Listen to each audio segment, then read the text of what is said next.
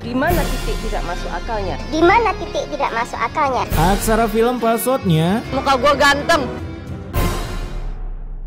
Hai guys, kali ini gue akan membawakan sebuah tutorial bagi kalian yang memiliki sahabat terutama woman. Beuh. Karena dengan tutorial ini kalian bisa kaya raya plus bonus mendapatkan pasangan meski bekas sahabat kalian. Tutorial sesat cuy. Oke tanpa berlama-lama lagi, mari kita gaskan.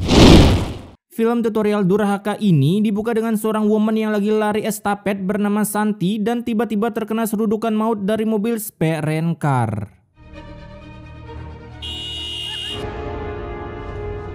Ya Allah. Asik, mana ada orang kena tabrak pingsan terus sempet-sempetnya mindahin tangan. Di mana saat Santi sadar, ia pun langsung diberi minuman star bucek tanpa bikin insta story terlebih dahulu. Dan setelah gelegek-gelegek, Santi pun menceritakan kalau dirinya diajakin nikah paksa dengan seorang kaya raya hasil dari pekerja di PT terbaik senusantara.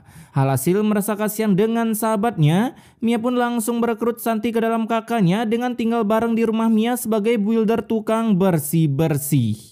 Namun Mia tanpa Kalipa yang memiliki pacar spare rudal idaman para wanita akibat bekerja jadi pengusaha yang kaya raya dan tentunya a good looking. Eh, sampai membuat Santi cemburu dengan berkata, "Aduh, Beruntung banget sih jadi Mia. Punya pacar gue sendiri. Kayak raya lagi. Nah, inilah contohnya kenapa gue bilang rudal terfavorit. Keesokan harinya pacar Mia yaitu Karim yang bekerja di PT Perkebunan Nusantara Jaya letaknya di Bogor buat warga Bogor boleh lamar di sini tinggal datang aja karena ini PT tanpa orang dalam. Apalagi kalian good looking, beuh. Ya, contohnya kayak Mia ini. Karena kalau kamu masih mau tetap kerja di sini, kamu harus menikah dengan saya, Mia. Asik, enak juga ya jadi woman good looking. Pemilik PT pun dilahap. Mendengar itu Mia auto rahim kuanget buang. Karena dilamar dengan cara mengdak-dikdukserkan Sebab awalnya ia pura-pura dipecat Eh tahu-taunya malah dilamar dengan sebuah cincin sebagai pengikat. Auto kagak kerja kalau gini mah. Sepulangnya kerja Mia tentunya bangga karena tak perlu lagi bekerja sebagai pembuat video uh, Video konten kreator marketing maksudnya Begitu juga dengan Santi yang mendengar Mia dilamar ikutan bahagia sebab ia juga ikutan diajak tinggal bersama Mia meski masih berpangkat sebagai builder pembantu. Tapi selain itu Santi juga memikirkan sebuah tutorial terlihat dari gimmick wajahnya.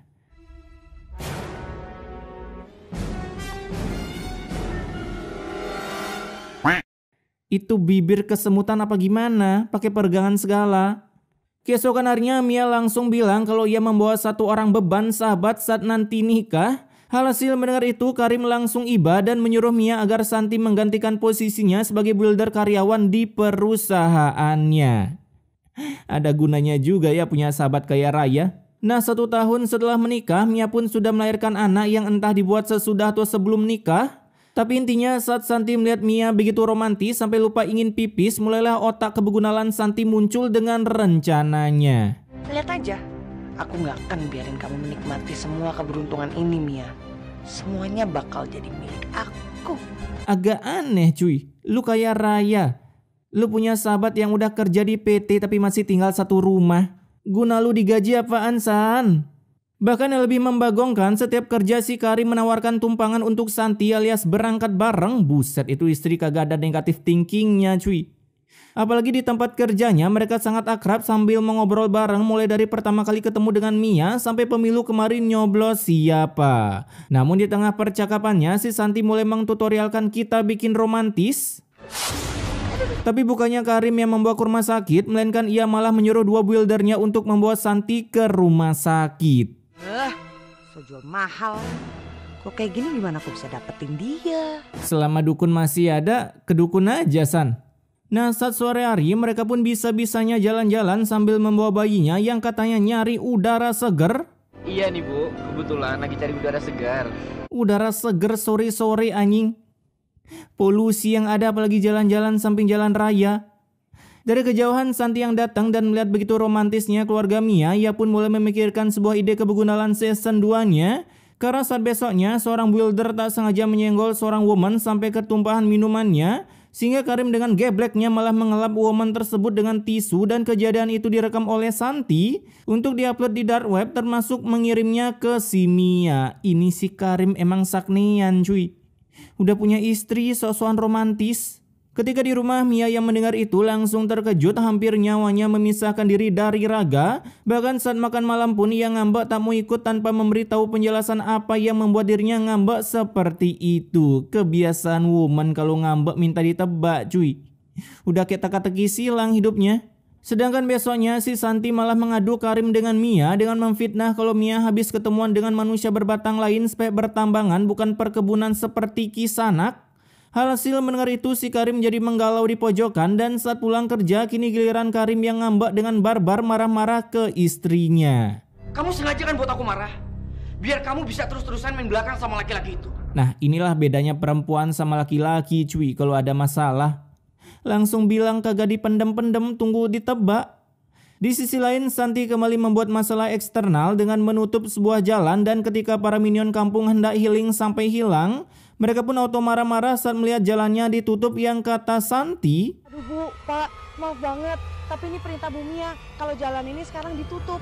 Berbahaya sekali cangkem Santi cuy. Di mana kata Santi ia akan berbicara dengan Bumia tentang jalanan tersebut. Sedangkan di sana dengan gebleknya ya emang mereka belum download otak. Karena para minion ini lebih memilih ngebacot sampai berujung OTW rumah Mia untuk marah-marah kenapa jalan ditutup. Padahal kalau mereka punya otak, buset dah tinggal lewat doang loh. Itu bambu nutupin jalan segitu doang, woi. Aduh. Ketika sampai di rumah Mia, terjadilah sebuah kejanggalan. Ya, keluar kamu. Kami datang ke sini mau protes. Protes apaan pak? Padahal tadi si Santi bilang pulang mau ngomong sama Mia, eh pas Minion datang nanya lagi protes apaan anjing. Santi pun bilang kalau Mia sedang ada job di luar negeri hingga para minion kampung ini memutuskan untuk mengangkat bambu penghadang jalan agar bisa lewat. Ya, ya dari tadi dong buset dah. Tapi ketika mereka pulang, Mia ternyata ada di dalam dan lagi sakit sedangkan Santi berkata kalau tadi ada beberapa builder kebun yang datang buat ngapelin Santi. Akibat kejadian tersebut, saat Santi dan Mia jalan-jalan, beberapa warga pun sangat kaku banget aktingnya. Masih bu. Nah, seperti itu contohnya. Biasain aja kali. Melihat itu ketika di rumah Mia pun kepikiran tapi Santi berusaha menenangkannya dengan bilang kalau mungkin minion kagak guna itu iri dengan kesuksesan Mia. Terlebih lagi Mia ngecit kesuksesan karena nikah dengan bos perkebunan di kampung sana. Nah mendengar itu Mia langsung menanyakan sesuatu tentang Karim yang masih suka nyewa lontong sate atau kagak. Halhasil Santi pun memberikan Mia sebuah foto lawas dan langsung membuat Mia menangis bercucuran air mata sambil memegang bayi yang entah nyewa dari mana untuk kebutuhan syuting. Lagian, salah siapa coba ngajak sahabat satu rumah walaupun udah nikah? Beberapa hari kemudian, Santi kembali memberi berita kalau gaji para builder dipotong separuhnya oleh Mia, yang tentunya membuat senyum para warga di sana seperti potongan Shopee Pay Letter. Bahkan dari berita hoax ini, salah satu minion melapor ke Karim kalau Mia begitu membegegestkan sifatnya, sehingga membuat Karim kesal hampir ingin mencari batok casan yang baru dengan login di aplikasi Saya Berbicara. Di sisi lain, saat Mia mau ke tempat kerja Karin, mobilnya tiba-tiba mogok. Oh, kebiasaan. Beberapa woman berpikir selama masih ada bensin artinya kendaraan aman cuy. Kala itu datanglah manusia berbatang yang tentunya suruhan Santi di mana ia berusaha menjadi penyelamat bumi seperti kalian para buaya darat yang sok-sokan jadi pahlawan saat woman lagi bikin status galau. Asik. Karena dengan bantuan manusia berbatang ini mobil Mia akhirnya bisa hidup. Setelah ketemu dengan Karim, Mia pun memberikan foto-foto hasil jepretan fotografer profesionalnya yang bukannya menjelaskan ini foto apa kenapa bisa Karim ngebantu woman yang ada Karim cuman ngedumel kagak jelas terlebih lagi Karim menuduh Mia tadi jalan sama laki-laki lain dan ya sama Bukannya ngejelasin kalau laki-laki tadi bantuin benerin mobil yang ada Mia malah menyebut kata pisah hingga akhirnya mereka deal untuk berpisah. Pentingnya komunikasi dua jalur. Rugi nikah anjing kalau punya masalah kagak bisa jelasin apa-apa. Intinya ini semua cuman karena salah sangka dan efek cangkem VOC. Mengadu domba. Hari itu juga mereka akhirnya pisah, Mia pergi dari rumah sementara anaknya harus diambil alih oleh Karim. Sedangkan di sisi lain Santi pun memberi upah ke manusia berbatang ini karena berkat bantuannya menjadi penyelamat wanita yang kagak suka servis motor, eh mobil, Akhirnya hubungan rumah tangga Mia rusak sehingga Santi sudah siap untuk menyatakan rahimku hangat buang ke si Karim. Di mana kini tiap malam bisa-bisanya si Santi masih tinggal di rumah Karim, geblek bener cuy. Bahkan hal ini membuat Karim autosakni yang berujung mengatakan kata-kata sakral. Santi, kamu mau nggak ngegantiin Mia untuk menjadi istri aku? Nah itu dia. Buset dah, the real sahabat istriku adalah calon istri baruku. Nah, berita mengenai Karim yang mau nikah pun sampai terdengar ke telinga Mia melalui perantara bos terakhir di Mortal Kombat. Mirip kali cuy. Di sana bapak ini juga bilang kalau selama ini Mia dituduh telah melakukan penutupan jalan, pengekikan karyawan secara mendadak, bahkan mengurangi gaji karyawan demi bisa check out beberapa item di keranjang kuning. Halhasil ia pun jadi tersadarkan kenapa para minion memberikan tatapan kematian mereka ke Mia setiap kali berjumpa di jalan. Emang dia bener-bener musuh dalam selimut. Lagian inspirasi lu apa sih ngajak sahabat tinggal bareng? Keesokan harinya Mia pun datang ke rumah Karim untuk adu bacotan dengan Santi yang tentunya Santi sangat santui menghadapi Mia sebab Mia bukan lagi serabi daman Karim bahkan untuk anak pun Santi tak memberikan izin Mia mengambilnya dan malah mengusir Mia dari sana. Sahabat tai, sahabat tai. Beberapa hari setelahnya, kini Karim mulai merasakan kalau memiliki istri manis saat belum menjadi istri doang. Karena saat anaknya nangis minta menyedot apa yang harus disedot. Apa tuh? Kamu ini ngapain aja sih? Anak kita sampai nggak kurus kayak gini? Anak kita. Hingga membuat Karim baru sadar bahwa pentingnya PDKT-an sebelum mendekatkan diri menjadi suami istri. Eh, siapa sih yang dulu ngejar-ngejar pengen nikah? Kalau aku sekarang kayak gini suka-suka aku. POV ketika kalian kenalan sama cewek terus langsung ngechat nikah yuk. Bahkan hari itu juga Santi yang gabut entah pengen bangkrut atau gimana bisa-bisanya ia memecat seluruh pegawai kebun di sana sekaligus tanpa menerima pesangon sepeser pun. Inspirasinya dia mecat pegawai apaan cuy? Pengen miskin mendadak. Selain itu ternyata Santi memiliki ayang beb yang bekerja jadi builder juga di tempat Karim. Ini dia babangnya. Yang di mana mereka berdua telah berhasil membuat rekening gendut seperti kebanyakan gula dari hasil GB dosanya. Begitu uang kita udah banyak, kita bisa cabut dari sini dan hidup bergelimang harta. Semudah itu cuy tutorial kaya di pedesaan, tapi mereka warga desa kenapa ke kota ya? Beruntung seorang minion berhasil memergoki mereka dan melapor ke Karim. Hasil Karim pun akhirnya mengetahui kebegunalan istrinya selama ini yang lebih membGGST-kan ketimbang si Mia. Mas, kok kamu nuduh aku kayak gitu sih? Salahku apa? Bangke. Bener-bener ya kebiasaan beberapa woman emang gini cuy. Kala itu selingkuhan Santi pun mengedik Karim sampai nyawanya hampir pisah dari Raga. Namun beruntung karena Karim tak jatuh di beton, saat malam tiba ia akhirnya sadar dan sudah disandra di sebuah gubuk. Di mana setelah sadar, Santi mulai mengungkapkan kalau ia dalang dibalik hancurnya hubungan keluarga mereka, mulai dari jadi fotografer profesional sampai mengasut Mia agar mau meninggalkan Karim dan dengan barbarnya, mereka berdua langsung membakar gubuk tersebut untuk mendelit Karim dari dunia, lalu melaporkan kepada minion kalau Karim telah dibawa oleh beruang kutub untuk menuju kutub utara, tapi Mia yang tak percaya ia pun mencari Karim bersama tante dan omnya hingga berhasil ketemu dengan Karim yang rupanya berhasil lolos dari Ultivalir. Saking kayanya sampai beli kehokian. Nah keesokan harinya Karim and the gangnya yang udah full stack langsung datang menemui Santi hingga dua bugunal ini terbagongkan melihat Karim masih hidup. Alhasil mereka langsung prepare mengambil segala hartanya lalu sedikit lari estafet berdua meski tetap dikejar oleh Karim yang udah full stack di mana selingkuhannya berhasil diamankan untuk digedik sedangkan Santi masih dikejar. Tapi saat kabur barang-barangnya harus nyemplung ke sungai, sementara Santi harus kabur tanpa perhiasan dan juga uang-uangnya. Ya elah, rugi kali jadi begundal kalau gitu. Nah singkat cerita, Santi yang kabur sampai larut malam, buset dah, kuat bener ini main kejar-kejaran. Bahkan para warga dan juga Karim tetap mengejar Santi. Uh, lu dapat obat dari mana bang? Saat Santi lagi sembunyi, ia pun malah sembunyi di balik sarang tawon yang otomatis langsung menyengatnya dengan editan yang begitu realistis.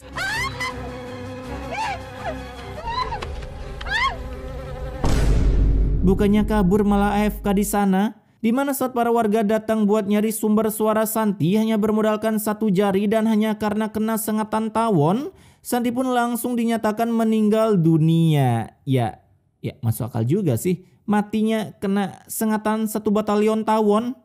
Keesokan harinya mayat Santi yang awalnya ditinggalkan di hutan kini tiba-tiba ngespon depan rumah Karim. Apalagi Babang Windah ikutan ngespon di sana juga yang entah gimana cara taunya ada mayat ngespon di depan rumah Karim. Pakai flicker cuy. Nah saat Bang Windah menyuruh para barudak minion untuk mengubur Santi, keluarlah kata-kata mutiara dari para minion ini. Ngapain diurus, Pak Ustadz? Eh, nggak usah dikuburin. Nah itu dia. Mendengar itu Pak Ustadz langsung ingin menjepit cangkem si minion tapi sadar kalau ia adalah Bang Windah baru sadar. Akhirnya Bang Windah baik-baik menyuruh mereka sampai mulailah pemandian jenazah Santi yang penuh akan bintik-bintik noda membandel. Nah saat dimandikan Perut jenazah membesar, tidak bisa kempes. bisa-bisanya azabnya Delay. Mati dulu baru kena azab. Mengetahui itu mereka langsung cepat-cepat mandiin Santi dan menggiringnya OTW pemakaman tapi baru aja keluar Mereka pun disambut oleh Ulti Vale, namun meski begitu mereka tetap jalan sampai kejadian mengwak-wakan pun harus terjadi. Pak Ustadz, bagaimana ini? Jenazahnya masuk ke dalam adukan semen. Melihat itu mereka langsung ke sana untuk berusaha menyelamatkan keranda Santi meski harus mati dua kali karena nyungsep dari ketinggian. Di mana setelah mengangkat jenazah dari cor-coran semen, seorang minion pun langsung password mobil pick up. Oh, Pak Ustadz, itu ada mobil pickup, Pak Ustadz. Ya wajar cuy, minion cuman mampu password ginian doang. Nah ketika mobil itu OTW pemakaman, sebuah kejadian membagongkan pun kembali terjadi.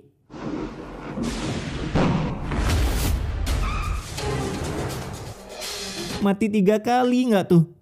Jenazah Santi yang jatuh di sungai akhirnya tenggelam perlahan. Apalagi para warga yang baru sampai auto kaget dan terpaksa mendoakan Santi dari atas jembatan meskipun doanya agar Santi sebanyak-banyaknya dicambuk di neraka. Wah, sungai mana ini cuy?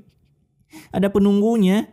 Oke pesan immortality-nya di sini di dalam hubungan tentunya pasti ada masalah tapi jika kalian menghadapi masalah dengan silent treatment pelangap pelongo seperti Karim dapat dipastikan masalah itu tak akan pernah berakhir apalagi kalian memiliki pasangan spek cangkem seperti Mia yang dikit-dikit mengatakan putus maka dari itu setiap ada masalah ungkapkan belak-belakan dan setelah itu barulah bareng-bareng mencari jalan keluar ya intinya komunikasi dua arah itu penting cuy Oke gua Wisnu Stay wak wak guys.